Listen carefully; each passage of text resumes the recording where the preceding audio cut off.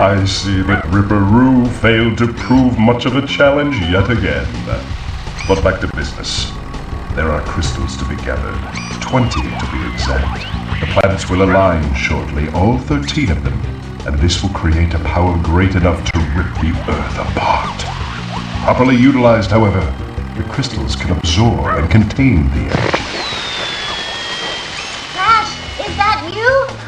Looking everywhere. I don't have much time to tell you this. You have to be careful. Trusting Cortex seems a little unwise. Crash, I can't keep the data path open this. Crash, you need to...